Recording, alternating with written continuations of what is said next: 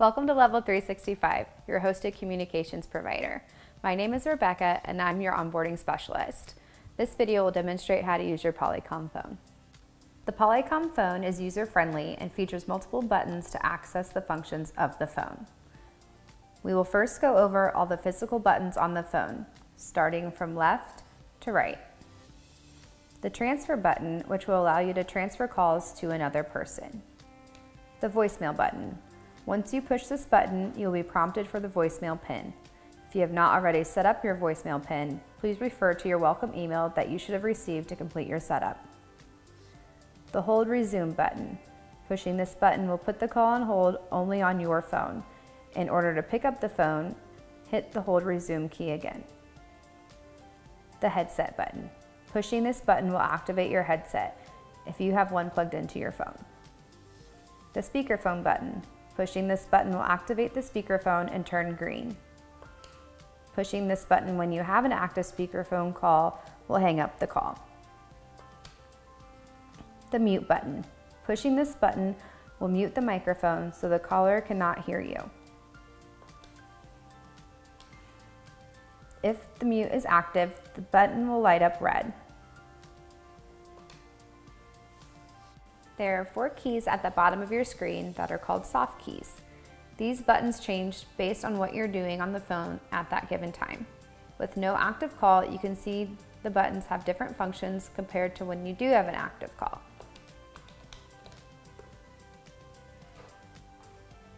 With an active call, you will have the options to hold, end the call, transfer, and more. These soft keys are designed to help provide shortcuts to features based on what you're doing at that moment. The buttons on the left and the right of your phone screen are programmable keys. The first button is always programmed for your internal extension. The remaining buttons can be programmed for a variety of other functions. For example, they can be programmed for speed dials and park spaces. Speed dial buttons are used for quick dial access call pickup, and to see if an internal user is on the phone. If the button is flashing green, you can hit that button to pick up the incoming call. The button will light up red if that user is on the phone. If you would like buttons programmed, please reach out to our support department. This is the volume up and down button. Pushing the plus or minus button will change the volume of what task you are doing at that time. If you are not on the phone, the ringer volume will be changed. If you are on speakerphone, the speaker volume will be changed. If you are on the handset, the volume of the earpiece will be changed. The arrow keys on the right side of the phone are easy access buttons to recent calls. You can redial numbers using these arrows and hit dial. The down arrow is for missed calls. This button will also clear the scrolling missed call in the top right corner of your phone screen. The right arrow is for place calls. The up arrow is for favorites. This can be programmed from the home button. The left arrow is for received calls. There are three easy ways of placing a call on the phone. Calls can be placed to an internal extension number or external phone number. When dialing externally, you can use 10 digits or 1 plus 10 digits. To place a call using the handset, simply dial the number and pick up the handset.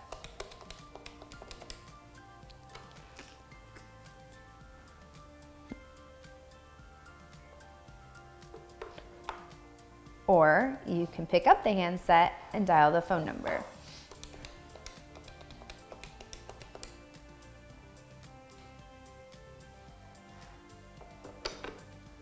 To place a call using the speakerphone, dial the number and hit send or the speakerphone button.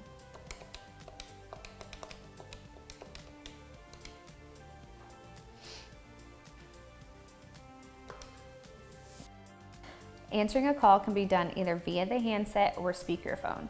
When a call is ringing the phone, you can answer the phone by simply picking up the handset or if you want to answer the call via speakerphone, just press the speakerphone button. Each phone can place a call on hold.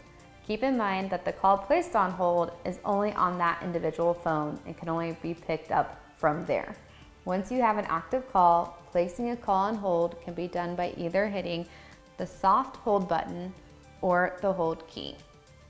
To pick up that call, just hit the resume soft key or the hold button. The next function is transferring a call. The key thing to remember is that once you have answered a call, you own that phone call, and you will need to transfer or park that call in order for another person to pick it up. Transferring a call can be done three different ways, attended transfer, blind transfer, and transfer to voicemail. An attended transfer gives you the ability to announce the call before transferring the call. With an active phone call, hit the transfer soft key or the transfer key on your phone. Dial the person you want to transfer the call to and hit send. You can either dial an internal extension number or an outside phone number. Once you hit send, the original call will be placed on the hold and a private call will be created between you and the person that you're trying to transfer to.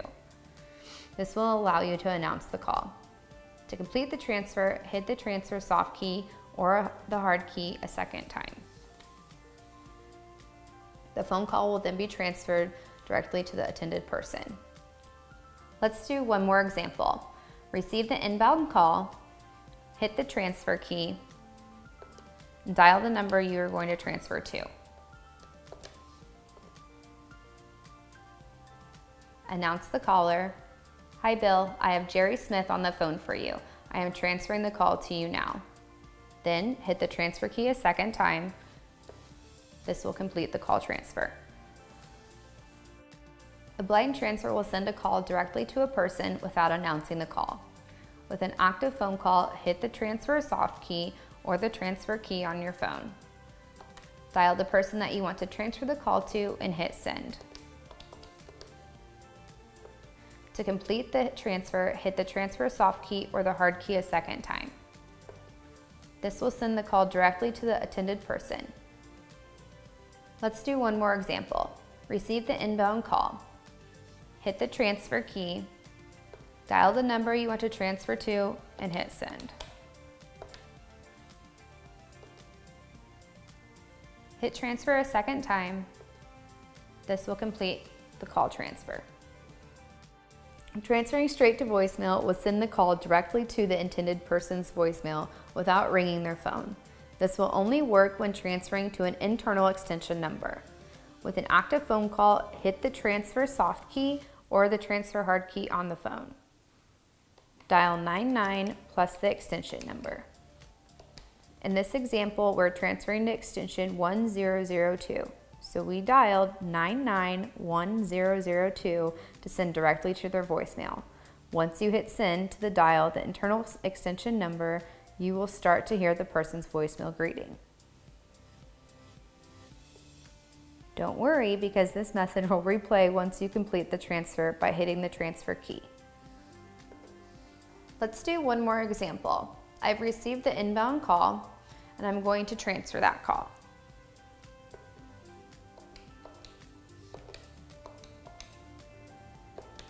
I'm gonna hit send and then hit this transfer soft key for a second time. Using the park function allows the call to be picked up from any other phone within the system. Parking places a call on hold on a virtual line. Once a call is placed on park, any other user can pick up that call from any phone on the system. In order to park a call, you will need an active phone call. Hit the star button three times. The call is parked at 700 Zero. Once the call is parked, anyone can pick up that call by either dialing the park line number and hitting send or hitting a pre-programmed speed dial from the park position. If you have buttons programmed from the park position, the button will light up red if there is a call sitting on the park position. As you can see in our example, the Park 700 button is lit up red and you can hit that button to pick up the call. One important thing to note is to listen to the message that plays once the call is parked. This will determine what line the call has been parked on because there may be more than one call parked within your company or your setup may have different parking extensions. Let's do one more example. Answer the incoming call. Hit the star button three times to park the call. The call is parked at 700 The call is parked on 700. To pick up the call, you can either dial 700 and hit dial or hit the pre-programmed park 700 button.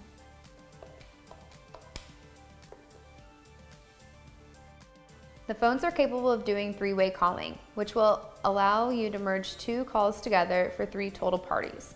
In order to make a three-way call, place the first phone call.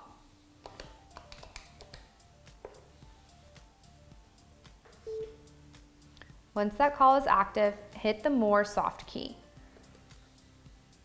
And then hit the Conference soft key. This will place the first call on hold. Place the second phone call.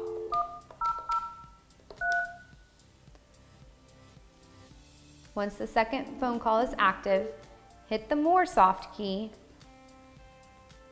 then press Conference to merge the two calls together. Once the calls are merged together, there is a split soft key option if you want to separate the two calls. To enter into voicemail, hit the message key on your phone. Please enter your password followed by the pound key. You will be prompted for your voicemail PIN. If you have not set up your voicemail PIN, please reference the welcome email that you should have received. The first time you log into your voicemail from your phone, you will be prompted to record your name and your greeting. Once you are logged into the voicemail, follow the prompts to listen to your messages. When you receive a voicemail, there are numerous ways to retrieve that voicemail if your phone is set up for these notifications. First, the red light on your phone will flash, indicating that you have a message.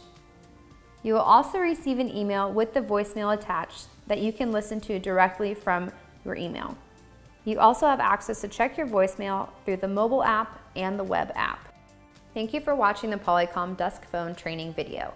If you have further questions, please contact our support team using our online support portal by going to support.level365.com. From this portal, you can open a ticket, chat with our support team, and access knowledge base articles.